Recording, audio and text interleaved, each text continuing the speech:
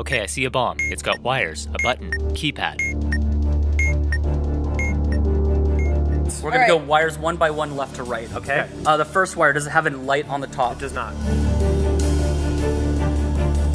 Uh, Symbols. Let's do the symbols. Sure. It's like a Y Candelabra? and an I. Yeah, it's, it Okay. looks like a candelabra. Okay. I'm feeling stressed.